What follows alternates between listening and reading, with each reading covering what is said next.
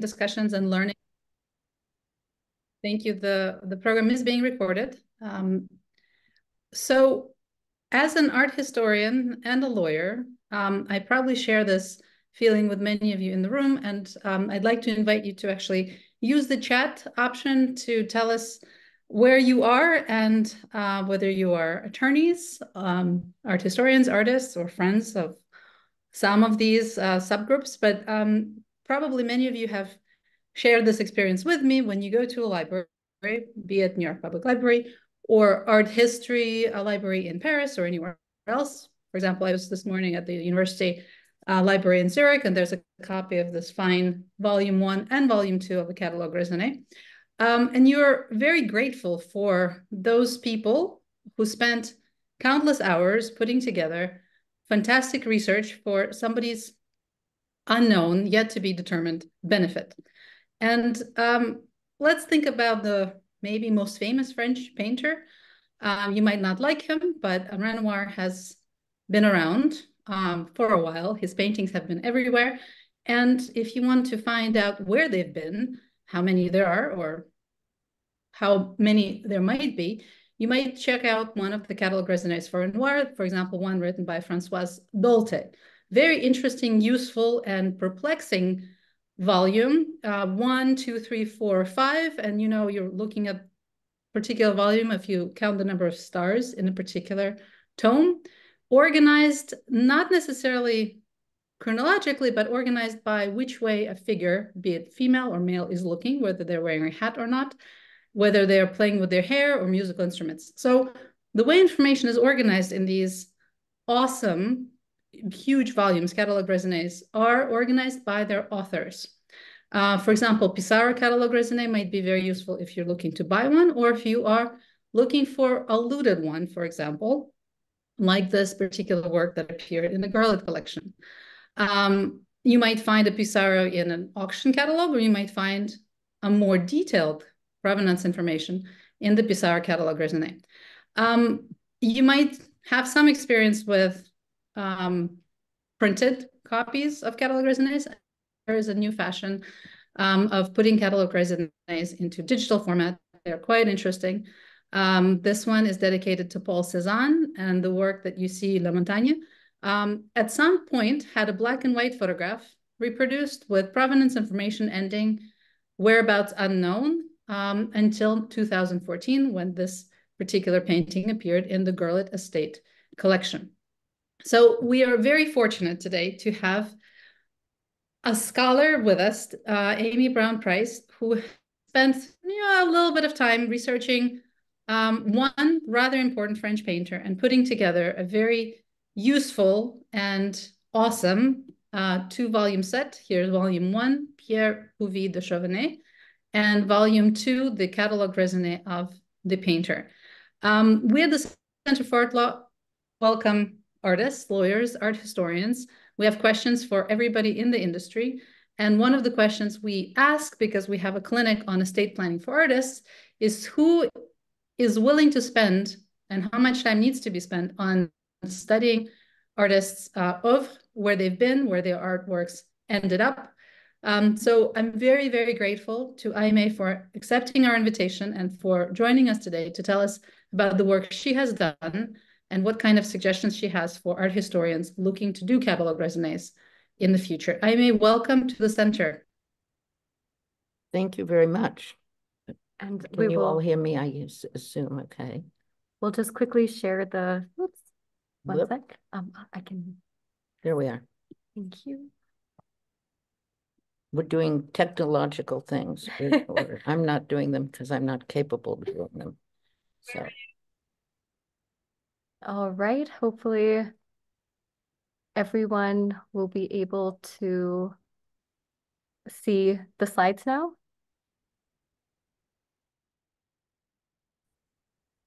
Perfect. okay. Thank you very much, Irina, and thank you all for joining, those of you who are able to. Um, so this project started into very innocently, actually. Um, once, a very long time ago, when I was a graduate student in art history and had not even heard of a catalog raisonné, um, I came across um, this um, odd uh, postcard, which was sepia colored. It didn't have even full color. But um, I knew I was looking around for a dissertation topic and I was thinking about doing cycladic art, but it turned out that my advisor said I'd have to know chemistry if I was going to do that. And I wasn't sure about 16th century art, which was another draw. But I was puzzled by this postcard that I'd bought that was so different from other French, the images were so different from other French 19th century paintings that I'd studied. It was by someone named Pierre Puvis de Chavannes, and it was called Le Pauvre Pêcheur, the poor fisherman, and dated 1881. And so began my finding out more about this, one, about this once internationally famous uh, artist, Puvis, as he's called familiarly. And frankly, uh, no one could be more familiar than me and calling him um, Puvis is what we're going to do. And actually, after my years of working on him, my youngest son came to call him because he was ever present, Uncle Puvis. Um, I was puzzled by this, and I so I began my considerable trek and adventure of discoveries on the rue or even on the boulevard Puvis de Chavannes. Uh, Puvis was born in 1824 and he painted for five decades, um, from 1848 to 1898. And as I uh, said, he was arguably the most internationally famous artist of his time. But why he was no longer well known and uh, why what had he done to deserve that, I'll talk about that later.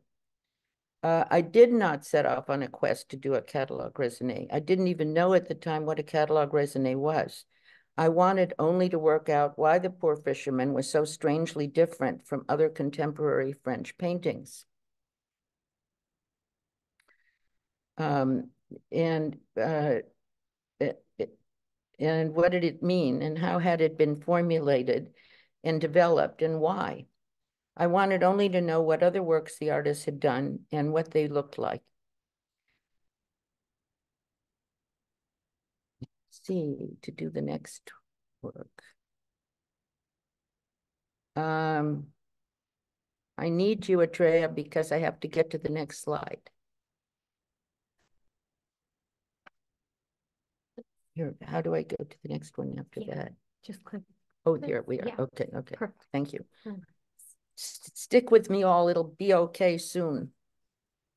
The poor fisherman pictures, as you saw, three isolated figures in a landscape. They don't interact. The fisherman is gaunt and angular, and his head is bowed, his arms are clasped close to his body, and he's holding himself in a rather passive gesture. Um, he, he stands in a small boat, and there's a girl on the nearby shore who's grabbing some flowers, and she's rather jagged in outline also, and fairly ungainly. And the infant is, as you see, not set back in three dimensions or per perspectively, but is awkwardly all but hovering in space. The waterway or estuary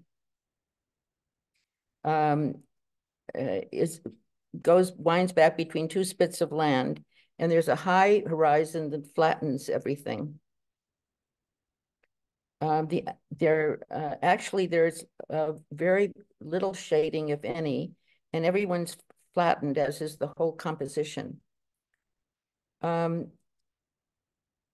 and it, it, all of this promotes a very strong sense of flat shapes.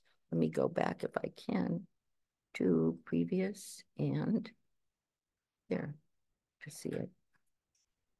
Whoop, back, back, back. Yeah. Which slide would you like? The second slide, third slide. No, the next one. There, so this is what I'm, no, let's see the next one. Okay. Everybody hang in there. I'm learning how to do this and I'm going to do it very well soon. Um, there's the boat, the net, the oar, and the shadows that they cast, which um, in the sort of flat water that you see there, but you can see there's a sense of forms and shapes in all these flat uh, images, and including the shadow of the boat with the triangles here and, and um, the net as well. Um, and, but there's a, also what's unusual and that perhaps uh, made it of great interest to me. There is a sort of melancholic disposition, disposition to the whole.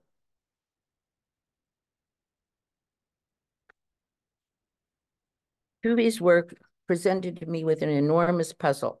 If he was so famous and original, why was his work not better known or discussed? Why was his such work as The Poor Fisherman so different from other contemporary French paintings, such as that of the, the same year, 1881, of Auguste Renoir, who Irina just mentioned? Uh, this is, of course, the famous Le Déjeuner des Canotiers, the uh, luncheon of the boating party, which is in the Phillips collection in Washington. Um, and it's just the opposite, one could argue, of the Puvis de Chavannes. First, it's filled with contemporary men and women who are having a wonderful time in the aftermath of a meal. There you still see the dining table and the wine, and people are flirting with each other and they're slightly tipsy. And it's a celebration of a moment of good food and wine and, and a sunny day in the country. The full palette of, of color also in the free brushstroke, which is so associated with um, Impressionism, enhances the mood of the scene. So in many ways, these are quite different and opposite one another. At the beginning of my investigations of Puvis, uh, he was most mentioned for those whom he had influenced.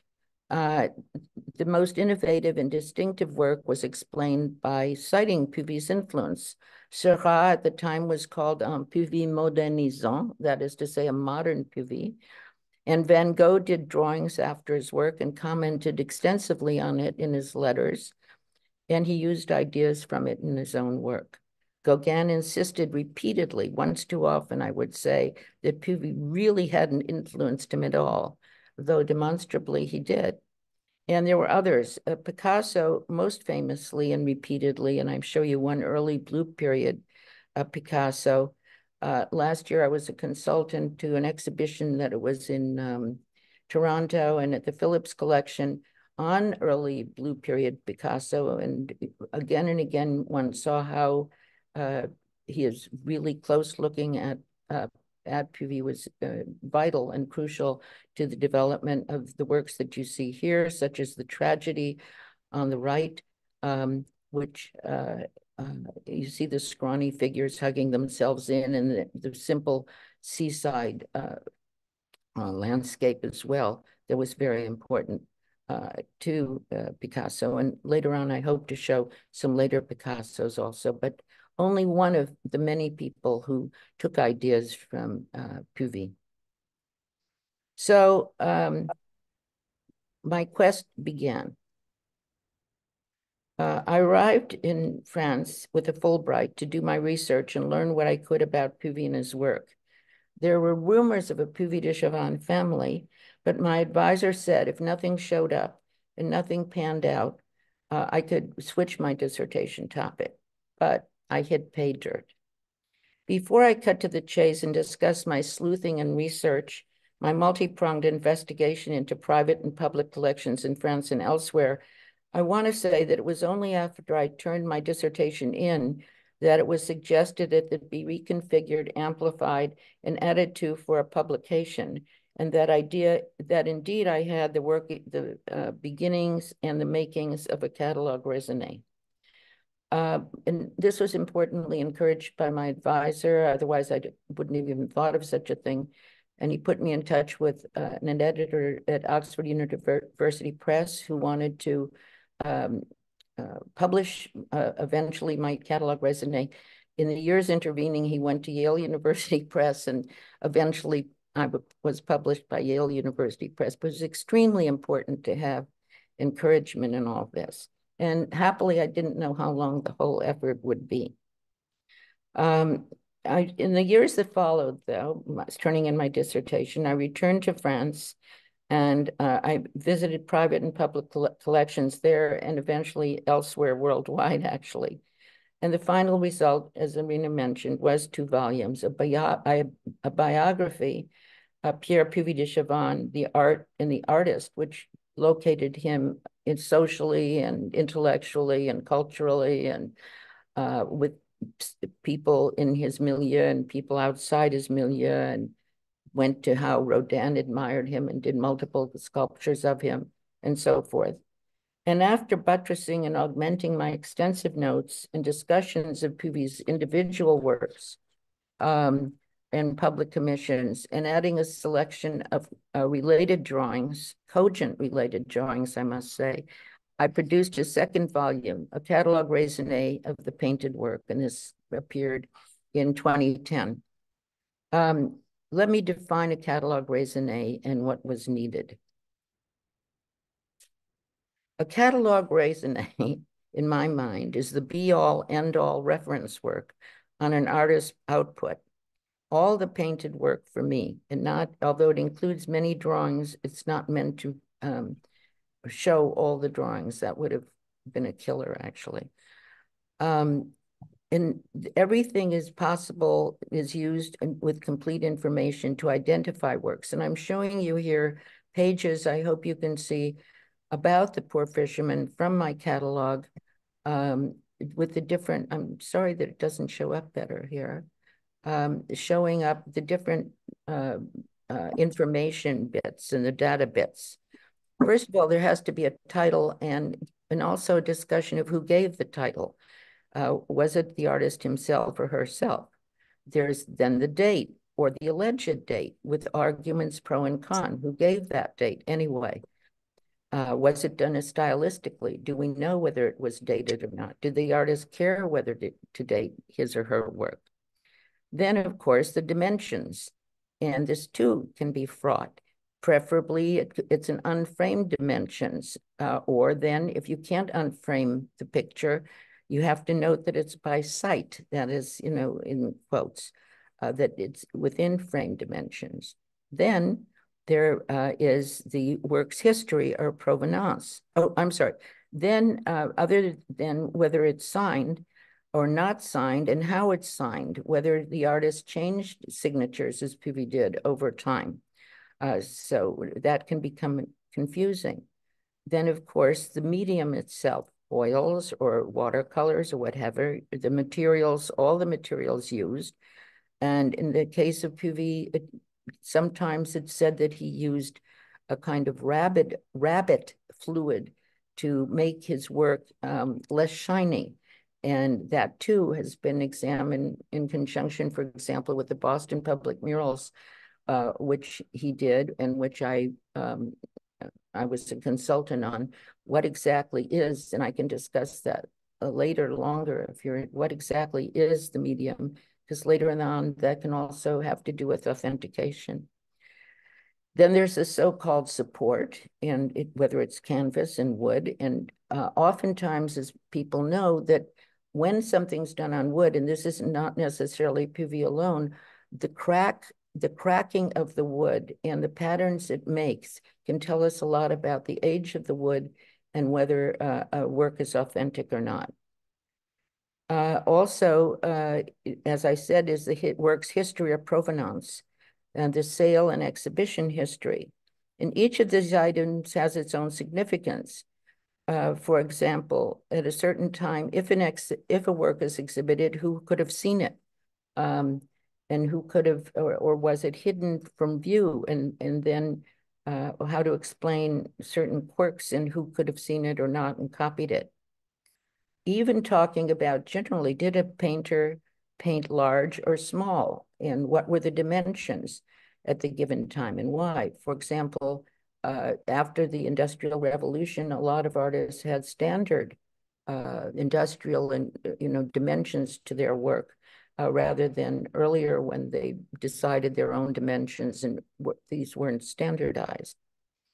Uh, so all of these are questions that come up. And so it's not simple data, but each bit of data can lead to not only authenticating a work, but telling about it in time and its era, in the interest of the um, uh, the interests of the artists and the viewers. Uh, so now uh, let me See, I'm learning how to do this. now, there are also a question of stamps and and uh, and wax seals put on uh, the stamps put on drawings and the wax seals on paintings, which may actually themselves be authentic or problematic. Uh, there's also the question of labels put on the verso of a work in helping to determine where the work has been and exhibited and its authenticity. As you see here, there are stamps of Puvis' initials, PPC, made after his death on his drawings. Uh, there, the one on the left is a genuine one. The other set, um, the source of which is unknown to me, and this was given to me by a collateral descendant of the artist uh, who was very interested in his his work um, and sort of amateur art historian. Um, and but to have a seal uh, means that these drawings were so put on the, these um, I'm sorry these stamps after the artist's death. So drawings that he might have given away or were sold or uh, uh somehow distributed before his death don't have the stamp PPC. Uh, the same thing with the seals that you see below, um, some of which, at least one of which is sort of dotty, um, is again put on his paintings after his death. And again, earlier works would not have had that. I will get to the notary and the inventory made after his death uh, in due course. Um, most important in the discussion of the catalogue raisonné, in my view, though perhaps not so significant in an art law context, is an analysis of the image and the imagery, the subject, how and why it came about through a commission, which is often the case in Puvis' work for his public works, uh, or whether it's a private work or done the artist's own initiating a uh, an image. And these can vary dramatically, as I'll be showing later.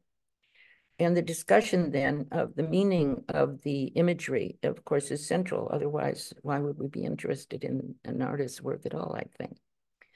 In short, a catalogue raisonné is an exhaustive study of an artist's output. And frankly, to me, at some points, it was not only exhaustive, but exhausting. Um, I did include drawings, preparatory sketches, and studies to show the genesis of a given image and from comparative purposes and to make various points. I did not endeavor to include the literally thousands of works on paper that came to my attention and I examined, as, as I've mentioned. So now cutting to the chase. So there I was in France at the beginning of my quest, and I took the rumor that some of his family existed to heart. Uh, though he didn't have any direct descendants, he had his collateral descendants, the his brothers, his brother and sisters, and their descendants. And uh, the, so the descendants of his siblings. Uh, this took me actually to the Paris telephone book, uh, where Puvis de Chavannes was listed. And I contrived a very clever letter, if I do say so, that I wrote to family members that I could find. I wrote, On m'a dit que vous puissiez m'aider, which was, um, I'm told that you could help me. And it goes nicely in French because you don't have to say who the agent is and uh, they bit. That is to say, they telephoned or contacted me and said, who told you that you could help, me, that I could help? Uh, so began so began my sleuthing and cleverly polite way of inveigling my way into the private collections of the Puvis de family. A lodestone held by them who thought it was so curious that a young American woman would be interested in what they had. And there hadn't been that kind of inquiry into Puvis de for several ge generations, if at all. And they were actually even visibly um, moved by my research. I think that in some ways I enlivened their lives. Uh, I was, you know, young and I was curious and I was working hard in their chateaus and they, they really liked that. Um, uh, and I was sort of a source of amusement, I think. I also, learned of Le Bottin Mondain, uh, published who's who of the French nobility, the lesser nobility, the higher nobility, and high society. It's a book with rough families and contacts um, detailed in, in the Bottin Mondain. Um, and I searched and visited individual whereabouts and visited all, and I show you here my scratched out notes of the sort of family trees And you'll notice that um, I also noted that um, that good Catholic family that the Puvis de Chavannes were, they had uh, they had many, many children. And I was quite relieved when one of them became a nun or uh, or a man became a man, a priest, because that meant that they didn't have children, they didn't have the work, and I could skip them. Uh, as you can possibly make out in this slide, you know, where a, a célibataire or uh, uh, tué or um, something of that sort. So that meant that um, it was a dead end and I could sigh some relief and not have to find all the children, et cetera, et cetera, et cetera, et cetera. Um, so um, Puvis' work was in the private collections of what we came to call the chateau people, both my children and my husband and I. Um, and the, what they had proved actually astonishing. Um, and their hospitality was vital to my um, doing the catalog raisonné. There were, of course, the paintings, but also portfolios of watercolors and literally thousands of sketches and drawings that emer emerged from armoire and wardrobes and dusty closets. And I assidu assiduously made notes, took measurements, made slides, and did drawings after each one. At the time, of course, um, film was used in cameras, and I didn't want to spend too much money on film, so I did a lot of drawings of, of lesser works. Meanwhile, I hunted down the notaire, uh, a sort of notary cum law lawyer in France. That is to say, a, a notary has more uh, has more weight than just a notary in the, in the United States. They're also kind of semi-lawyers. And the inventory that he had made, or his descendants still had, of Puvis de Chavannes' atelier and home at his death, which included works on paper, stamp, PPC I showed you, and then the, the notary would make a swirly D for his name, Delapalme, and add that. Um,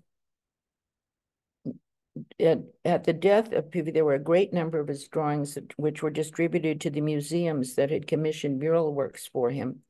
And these were repositories for both comparative and uh, both comparative and miscellaneous works. That is to say, the uh, people who distributed the, the uh, drawings and uh, sketches tried to make them pertinent to the various museums where he had worked, but that didn't always work out. And sometimes surprising things wound up in surprising places.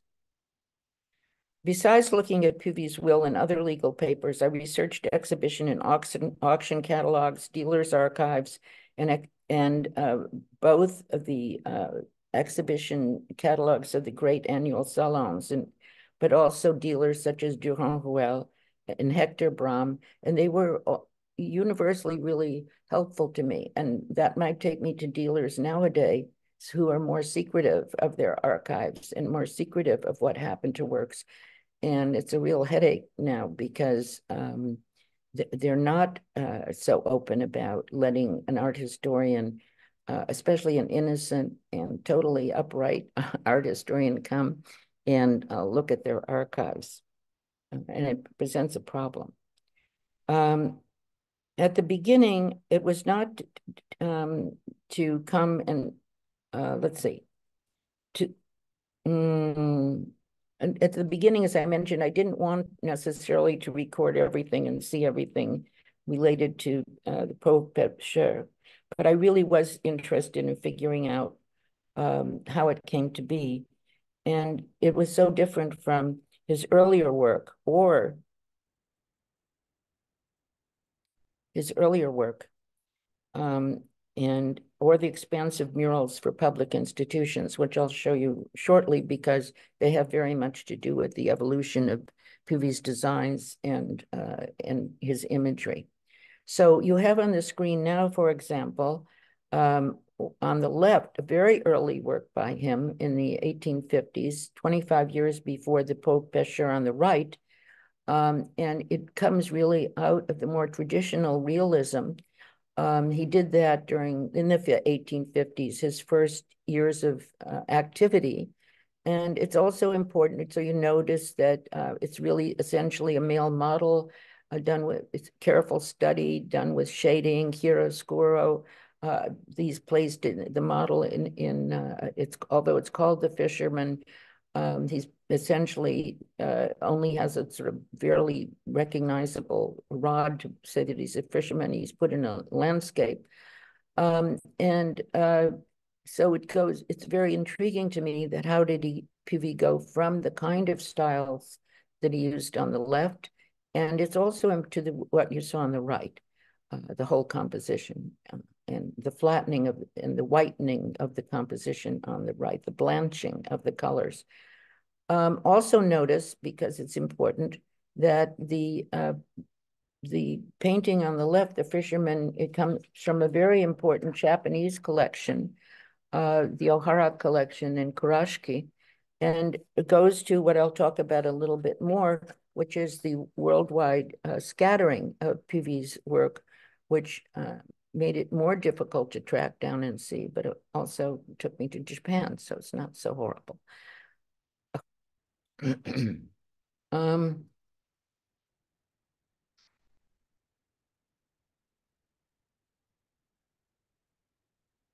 uh, I also did suggest to you how widespread his work was.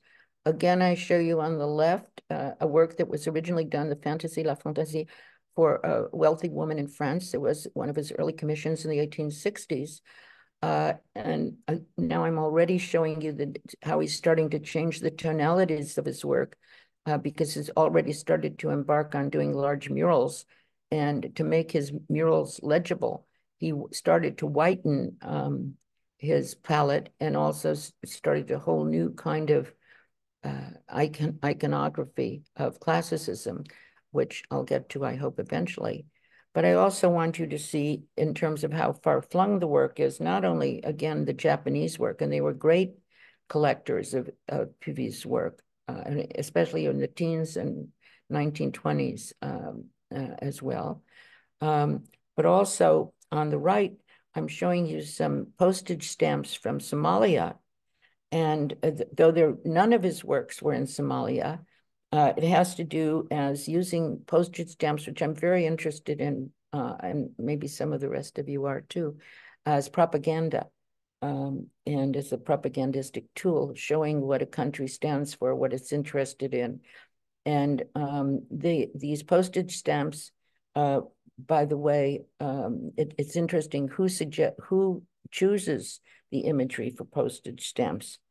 Um, and happily, the postage stamps was a um, were a surprise gift to me from my dear husband. So there you are.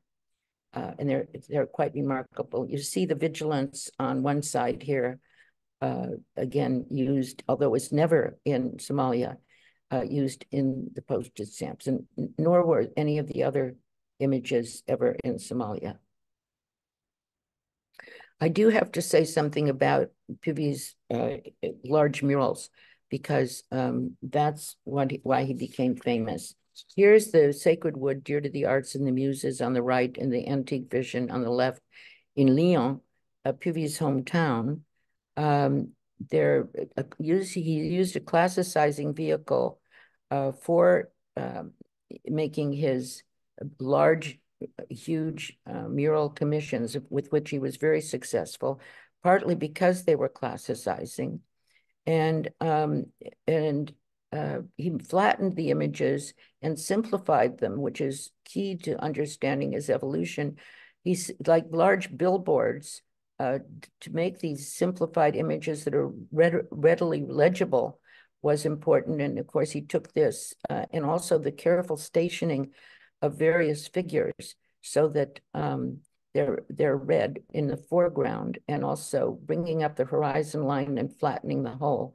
He also engineered the figures to be in place, very mindful of the architecture and uh, using the colors of the architecture and also uh, putting out figures in with uh, are evenly paced uh, so they don't break up the architecture. So there's no crescendo or decrescendo. And there's what uh, I came to call a paratactic rhythm, which is to say from rhetoric, like I came, I saw, I conquered. It's a regular beat uh, in his work. Uh, so in that way, it's unusual. Um, and one of his other now uh, large, I just want to show you another large uh, um, mural program that he did. He came to do murals both for the many new art museums that were springing up, just as I showed you with prosperous France in the 19th century. A city showed how prosperous it was by establishing a new art museum, just as today a new city establishes an art museum. Here is his um, murals for the uh, huge central uh, lecture hall of the Sorbonne, uh, which um, is fascinating in terms of the different academic uh, departments that are shown in the arguments among the faculty about whom should be next to whom. But you see how he spreads out um, the, the figures. And um, here's a, a, a, reduced version after that mural, which is in the Chicago Art Institute. Uh, he did reduced versions, which are very popular and bought up worldwide, uh, because since his once he painted uh, on canvas and then the canvas was installed in museums. Um, so to see these murals and to understand Puvis' work, uh, one has to travel widely to see the murals in various French cities and also um, he is one group of works. He didn't visit the Boston Public Library, the new Boston Public Library, but did huge murals there. So he did murals for the mu new museums in Amiens, Lyon, Marseille, Rouen. Uh, he did murals for the city halls in Poitiers and Paris. He did the Sorbonne. He did uh, the Church of Saint Geneviève, two campaigns of murals. Uh, the Church of Saint Geneviève is now converted into the secular Panthéon in Paris uh, where you can see his works. And although he did these works, as you see here, of the muses flying in, which is, and, and the various muses, uh, which is totally appropriate for a museum because the word itself comes from the idea that a museum is a place where the muses dwell, the museum. Um, so as while he was doing this, uh, not everyone thought that, you know, classicism might be good for the patrons and the government and public um, art. But for example, Toulouse-Lautrec did a parody, a large parody, which is now at Princeton, um, of the uh, the sacred wood, the, the sacred, the wood, le bois sacré aux, aux muses, the uh, sacred wood dear to the arts and the muses. I show it here in the upper left, and in Toulouse-Lautrec's uh, rendering, uh, he brings in other characters from other Puvis paintings, but the main thing is he he's satirizing the use of um, uh, uh, classicizing works by having a, a troop of people parading into the sacred wood as if it's a theme park. And he himself shows himself as he's the small man in the foreground, uh, turning to urinate, urinate. So he had his digs at Puvis as well as not being uh, up to date. I'd like to close with um, uh, another painting by Puvis, his last 1897, classicizing lady here, where um, you can see even the division of her face was to intrigue uh, Picasso. And here she's sitting. And of course, again, Picasso looked at her work, at, at Puvis' work, and you see the Puvis on the left here, and two of Picasso's works of the 1920s. Um, so that's all I have to say at this point, and I'm sorry if I ran over. Um, you were exactly on time, I Aimée. Thank you so much. Um, I would like to um, invite questions. So um, for those of you who have questions, please put them in the chat. And I will start with a number of questions of my own. Um, so for art law purposes, catalog raisonnés have been very, very important not just because they um, tell the story of one artist through time, but also because um, mean, you mentioned there are a lot of decisions that need to be made um, before materials that art historian gathers and transmits to publisher. For example, you mentioned dimensions or the medium. What about um, the very subject of authenticity, right? Um, how easy or difficult is it to make a decision of including something in the catalog or excluding something from a catalog? A very important question, and especially because people like uh, who do these things now can be sued. And actually, um, I won't get into all of that. And also because they're vested interests by various people. In my own case, and I will tell, um, in my own case, I have the securely uh, works, which I think securely are by Puvis in the main catalog raisonné. There's a section of lost works, which may surface at one point or not. It's not clear if they were destroyed or what happened to them. Uh, then I have um, a section of clearly works that I don't think are by Puvis, and I clearly say so. But the most difficult one are the ones that are iffy. And in my own case, I had a section called for further study. And that's what I mean, that something may occur or, or surface that will make it seem that a work really isn't by Puvis or really is, and, you know, drawings that make it secure that it was or wasn't. Now, um, in I was called into the Robert Miller Gallery at one point, and um, and they showed me a work, and they said you have to include this in your catalog raisonné. And I looked at it, and I said, well, I I don't feel comfortable putting it in the catalog raisonné uh, proper. And they said, are you are you willing to testify about that? And that unnerved me. But I checked with the College Art Association and I thought it over and they said, yes, the responsible thing to do is to testify. So there was a court uh, trial um, and uh, and I was very worried. The lawyer prepared me on both sides because uh, even I, who view myself as knowledgeable, could be made a total fool of by if a, if a lawyer is clever and saying, you know, how do you know this or how do you know that? Um, uh, it, it unnerved me. But happily, the other lawyer was not that clever, and I didn't come out uh, so stupidly. And in fact, the side that I represented, that is to say that it wasn't authentic, uh, prevailed. But I thought, not being a lawyer like you all, or many of you, I thought that it would come out as um, caveat emptor, let the buyer beware. But no, now in New York law, this is part of the Universal Commercial Code, that if someone sells uh, a painting to another person, uh, then they warrant is by uh, a given artist that that uh, that they are warranting it, and therefore um, the uh, the seller has to take it back or whatever. So that was interesting to me. And um, I did want to say something else about chasing down works. People do have vested interests, like the family itself um, had to pay um, whenever, you know, the generations change, they had to pay the France uh, taxes on, on the work. And, uh, or if they don't have the money, the French government has the right to requisition works from people who can't pay for the, the, the taxes. So uh, one of the Puvis de Chavannes ladies said to me she was going to bury her work in the gardens so that the government would never know that her son was inheriting and she got it and she hadn't paid 10 taxes. And um, I thought like 10% thought of me, maybe she's serious. You know, although I, I couldn't tell if she was being serious or not, that she was going to bury the work. And all I said to her was, well, be careful how you wrap it so that the moisture doesn't, doesn't get to it.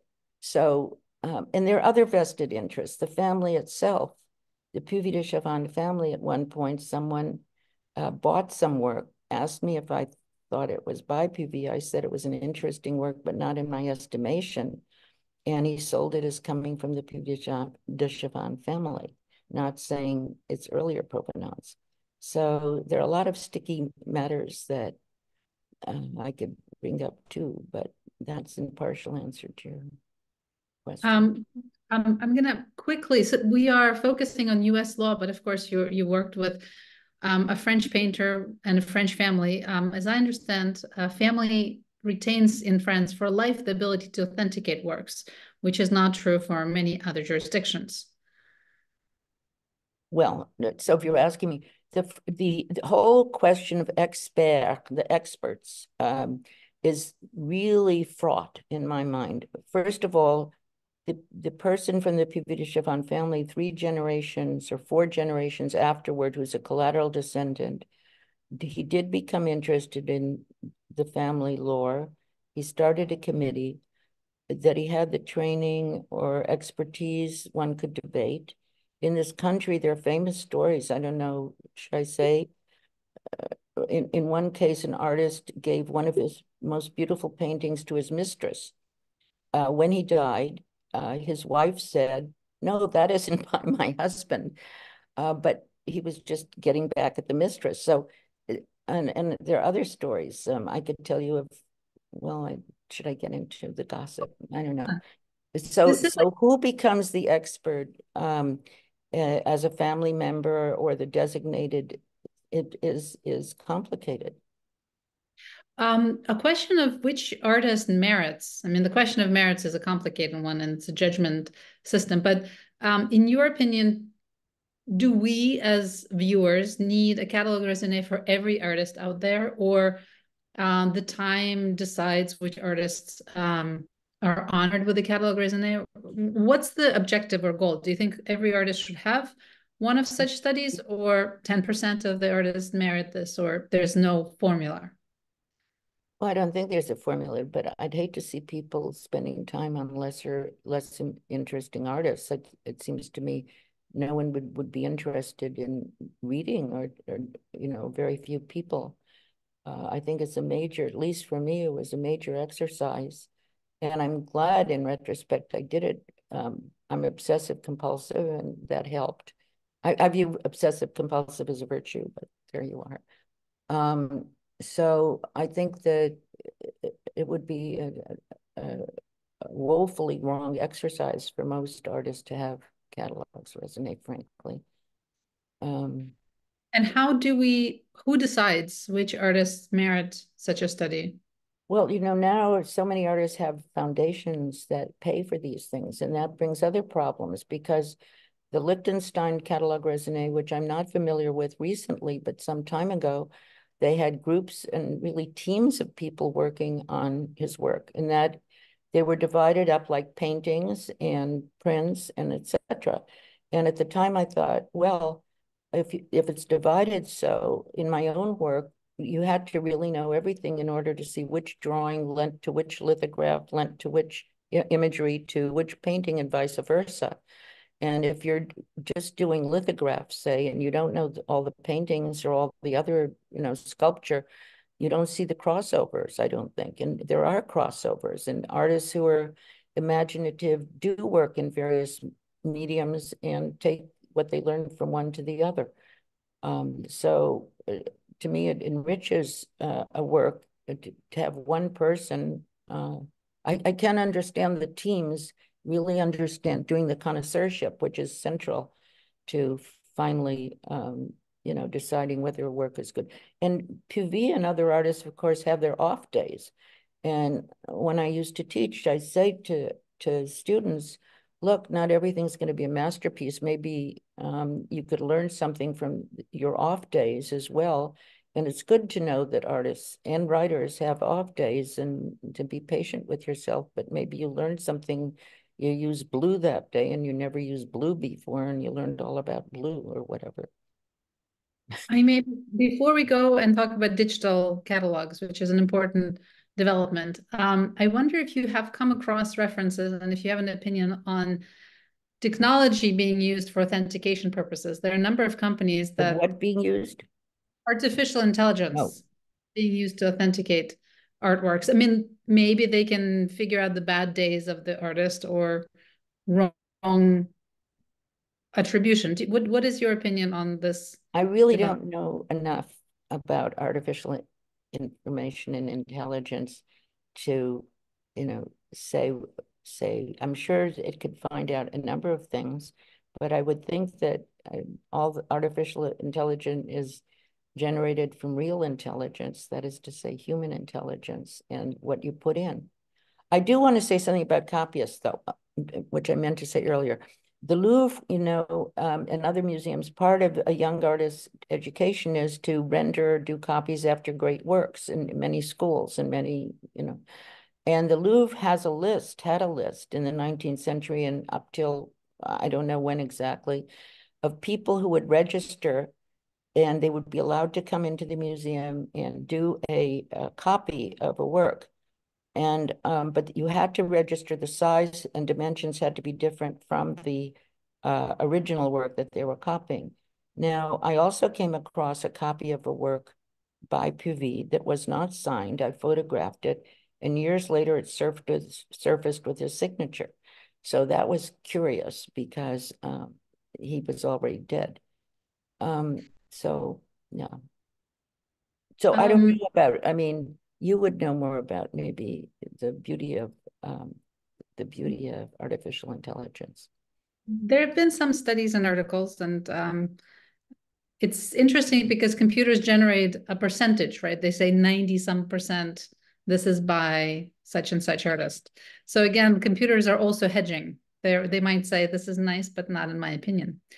Um, here's a question about monopolies on artists. Imagine you spent a few time a few years working on Puvis, and then you learned that somebody else was working on a catalog of Puvis. Is there is there a queue which says, okay, this artist is reserved? Um, is there a monopoly on any kind of artist or? Not to my knowledge. Um, I think, you know, if other people want to uh, do that, um, good luck. Vive la différence. I don't know. Um, okay. And what about? Um, of course, I'd be angry. No, it's okay. It seems that some artists have been more difficult to research because their archives are not accessible. They're kept by um, auction houses or by gallerists or by families. Any suggestions on how to get access to harder to find or um, access materials? No, and, and it is bothersome, and that especially you know, in the old days, the catalogs had coded um, information like the Frick Art Reference Library had coded, and it was easy enough to break the code of, code of how much how prices were um, in and so forth. Um, nowadays, as I mentioned, different galleries with whom I've worked actually have um, sold work and they, in one case, promised me they'd put me in touch with the buyer um, and see whether, you know, the buyer would say, yes, I could come and look at the work. And, and of course, I was interested in why they bought the work and whether they had similar things or whatever. But in at least two instances, they didn't come through the way they had promised. And um, it made me um, less than happy, let's put it nicely. But there's no duty, You know, right? and, and, and it's too bad because it really could help with um, further research and so forth.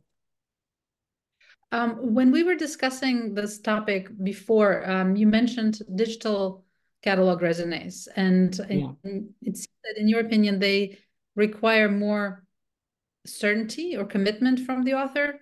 Or no, did... I, I really don't know. The, the thing about the digital um, they're of course more fluid because you can add and subtract and so forth. In the sense of fluidity, um, that might, in terms of it being a reference book and something to go to, if I bought something because in 1970, uh, the, or nine, let's say in, in 2010, the catalog raisonné said, this is a good work. And in 2014, uh, they say, well, now we think it's doubtful that in terms of the use of a catalog raisonné and as a reference work, that becomes difficult um, and dotty in terms of, well, I think this this year and I think this the next year. On the other hand, when you find further information or further exhibitions or further, um, uh, you know, data on a work or a whole lot of, you might have think a work is iffy and then you find suddenly, you know, 20 uh, drawings that led up to the work that gives it, you know, some sense of uh, authenticity, that's important. Have you thought so, of converting your catalog into a digital catalog raisonné? No. Would you consider it or would that um, mean revisit? I, I, would I would have to be convinced and it would take um, a good deal of uh, convincing why why is this a good thing? I mean, there are things that have come up since the publication in 2010 of my catalog raisonné. And I have uh, see that certain things could use correcting. Not that they're wrong, but they could use filling out. And in one case, maybe something was wrong. but don't tell anyone, every one of you. Um, so, uh, uh, but, you know, how much life do I have left in me? No, you know, Um, the alternative is a second edition, right? oh God. Um, so I wanted to mention, um, we might go over a little bit if there are questions that you want to ask of Aimée please put them into the chat. Um, we will be sending um, the handouts that our team prepared, and I want to say thank you to Suzanne and Neil and to Threa Matur for working on this program. Um, the handouts have a number of suggested readings as well as Aimée's bio. Um, we'll also be sharing the recording and um, maybe the slides. I don't know. We'll see. Well, they're in the recording anyway. I have Um, one thing I wanted to say that was exciting. Uh, As I said, I made inventories in various chateaus. And it, of everything they had by Puvis and other things, but mostly Puvis. And I got a call from the French police um, years ago from a small town where there was a chateau. And they said there'd been a robbery and the owner didn't know what had been taken, but that I had um, an inventory. And I, and could they see the inventory? And I said, yes, I'm coming to France in a couple weeks and I'll bring it. And they said, no, no, they really wanted to come to New York. So these two policemen from this small town, they'd never been into New York. And they came and interviewed me about, you know, and I said, here it is. I, I could have, you know, brought it to you. And they said, no, no, they wanted to, to come here. And soon the interview was over and they said, and where should we go shopping and where should we go for tourist things? And it was so wonderful uh, that uh, I gave them the opportunity to come to New York. It, it is terrific. You also mentioned that many of your archives, not necessarily the photographs, have been deposited with the Frick Library, right? Yeah, Um, is they're 17 feet. And they have all these slides that are from private collections. And I said, if you digitize them, I'll give them to you. And they said they're not ready to do it. So if anyone wants to digitize my slides, um, then who knows? Yeah. Are there any artists that you have come across while researching Puvis that you think need catalog raisonné work done? Other artists? I'm- not sure. They're extraordinarily important artists about whom a lot is known, and I don't know if uh, catalog raisonnés are necessary or not. On the other hand, one does dig and one finds things. Um, and I was really lucky to have the family, especially. Um, but you know, he was a victim of his own success in the sense that uh, when he was died in 1898, he really was the most famous internationally artist. And people really wanted his work. Museums from around the wor world, as I was indicated, but private collectors too. There are a lot of things in the United States that have him, you know, that came, for example, the Chicago Art Institute and so forth. Um, so, uh, oh, the other reason he's not better known, which I wanted to mention, was that 19th century art is taught in isms. First, there was, you know, there's romanticism and realism and uh, impressionism and post-impressionism and uh, neo-impressionism and um, symbolism. And people have tried to squash him into one of those categories to be taught, uh, most, mostly uh, symbolism, which he is not, and which he protested against in his time. So as he didn't fit in in any of those isms, he's basically fallen by the wayside in studies of 19th century art, because that's not how uh, artists are categorized. So any of you artists watching, if you're too original, you won't be included in in the studies of 20, 21st century art. I'm only kidding, of course, partly anyway. Um, last question from me, unless there are a few more questions that um, are waiting to be answered, is if you knew what you were getting into, how much time you had to spend doing this? I, I don't think I would have embarked on it. I think lots of lawyers say the same thing. If they only knew. Really? If only Some- what? If only they'd known what? How much law there is that they will never understand, they would probably run for the hills. No, I think it was good that I was in, ignorant. Um, any suggestions that you have for our um, estate planning clinic? Because we have a lot of artists who come to us, very talented, but they say, you know, there has hasn't been a study of my work done, and I don't have a a gallery representing me, and you know, maybe my family is not going to hold on to all the archives. Um, what kind of study do you think um, needs to be done for these artists to keep them um, in the Encyclopedia of Contemporary Art?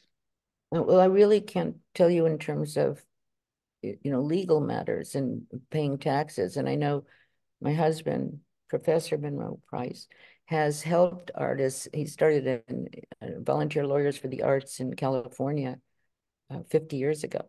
Uh, but um, whereas law students helped figure this out. And they've done much more in the Netherlands um, with artists' estates, but certainly just answering in terms of artists keeping track of what they have and uh, where it goes is a beginning of a help of having their archive, doing their own archives.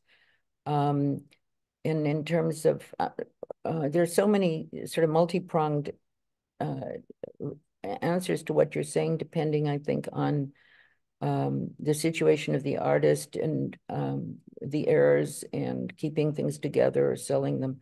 I'm not sure I'm really answering your question.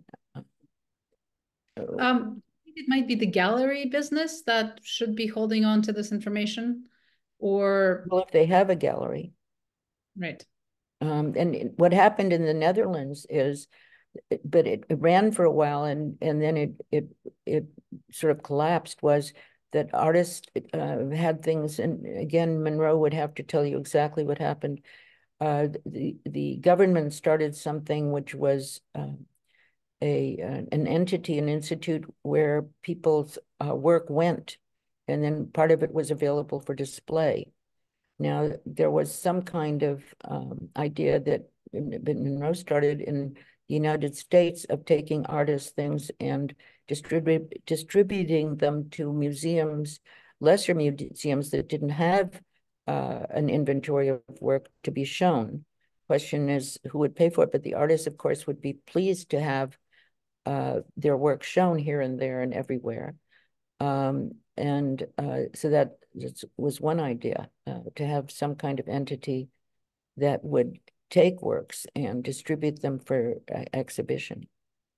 And I suppose then if that were true, you could have people, art historians or whatever, working on, uh, you know, inventorying and writing about them and so forth. Well, we, we would be thrilled to contribute to a, a, creation of such an institution in the United States where at least some of the art and some of the archives can be deposited both for preservation purposes and for study purposes, in which case some of the um, current or soon to be art history students would also be able to go and pick materials that they would dedicate a significant amount of time to studying. Well, in the Netherlands, it was a kind of holding institution till, and, and I don't know whether things then would become for sale, and I don't know if then money would come to the family of the artist. I, I have no idea about that. Um, but it it really is a pity how many uh, artists are fantastically good, but don't necessarily have the wherewithal to find in a gallery because of their personality or what have you, uh, or that the galleries are not that interested perhaps in, um, I mean, it's a whole other question. The galleries have their own profiles and things they show, and they might think a given artist doesn't fit in with, you know, pop art or whatever they're they're famous for or want to be famous for. So that's a complicated, you know, business finding the gallery. And and and I'm talking about first rate artists who, you know, in in, in Gente Puvis, um, he went from great fame to just you know, no one recognizing his name. So that the, uh, you know, and that's true of art history in general, is suddenly someone's discovered or rediscovered, whether it's Artemisia Gentileschi because she's a woman and, and she went, wasn't known, and then suddenly we're interested in women artists, uh, or because the work is so curious or demanding, or I know an artist who does nightmarish work and no one wants to hang it on his walls, but it's fantastically good work. But you know, people want pictures of thriving flowers. I don't know, because another artist I know does flowers that are wilting as a great metaphor for what's happening in the world. And maybe people don't want to have large paintings of dying flowers. Um, we had one question from a, a student who is looking for direction and which direction if do you mentor art historians do you um set people love, on hmm? oh, i haven't i mean mentor i try to be wise no I'm I've been old and gone through been through a lot. I'd I'd love to talk to young art historians and and and have spent a lot of time teaching and talking to students of art history and so forth. Right. You mentioned that it was your um, uh, supervisor who suggested you continue with the catalog raisonné work. So the question no, is, it's very important, I think, to get encouragement from someone whom one respects. Excellent. Because I really do think that the people who are less sure of themselves are the are the ones who have the higher standards and are the ones that need encouragement. The ones who are think they're so great and everything, good for them, but um, you know. Um, thank you so much, Aimée, for your time and for the presentation. Um, maybe we can continue talking about having a repository um, like the one in the Netherlands, where um, art historians and lawyers and artists can um, come together and, and work on preservation and story exchange. And um, for those of you who are interested in relationships between artists and galleries, we have um, a program coming up on artists changing galleries or switching galleries. It's a supposedly a trend. We've seen a lot of artists um, leaving and going to other maybe greener pastures. Um, and if you have questions about um, anything else that is at the intersection of art and law, uh, we might not have all the answers, but we really love looking for experts to bring and share their wisdom. So um, take the survey that Athrea has just posted. Thank you all for coming. I think there's much more to, to say, but we can wait until the next meeting. So thank you again for being with us. I mean, thank you so much for your time. And Monroe, thank you for the inspiration and for the introduction. Thank you all. And thank you, Irina and Athrea. And thank you all. Thanks a lot. It was fun.